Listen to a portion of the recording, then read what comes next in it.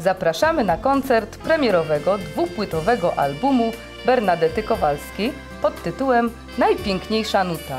A będą to nutki z y, piosenek Jurka Macoły i z tego co ja wiem, znajdą się tam też niektóre utwory w jego wykonaniu.